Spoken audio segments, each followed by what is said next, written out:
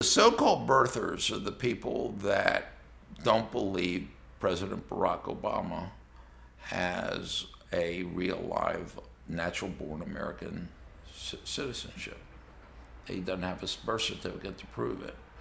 This focus on natural born citizenship is it's interesting in the Barack Obama case for a couple of reasons. One, one he ran against John McCain and nobody raised it, although John McCain had been actually born in Panama, in the Panama Canal Zone, and nobody said boo about that. It's Barack Obama's skin color that excites the birthers, if you will, and causes them to discount his um, his real life, uh, natural born Americanness.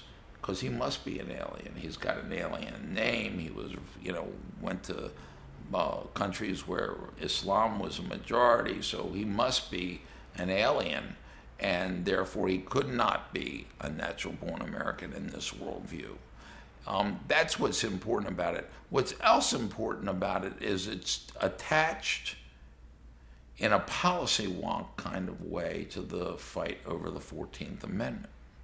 The 14th Amendment is the amendment to the Constitution passed after the Civil War that guarantees people equal access before the law, equal treatment before the law. And it's a it's a it's the thing that brought citizenship to the former slaves.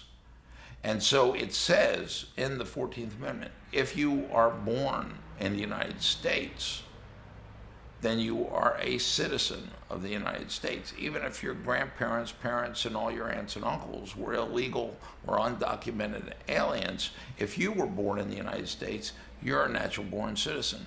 And so the birthers are very much of the ilk that says, no, there's a certain type of person that's a natural born American, and all you others, we really don't want you. And so you see a lot of tie up between the so-called birthers and the anti-immigrant nativist types, both in the House and the Senate and in the social movements.